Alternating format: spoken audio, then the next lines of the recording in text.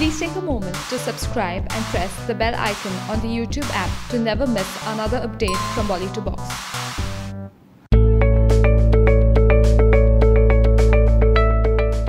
A couple of years ago, Katrina Kaif had expressed a desire to start her own production house. She even planned to make the remake of the French film Priceless. But then, due to her pressing schedule, this dream was long forgotten. But now we hear that her good friend Salman Khan wants her to realize this dream. And so he's encouraging her in this venture. But still, this time too, she seems to have too much on her plate.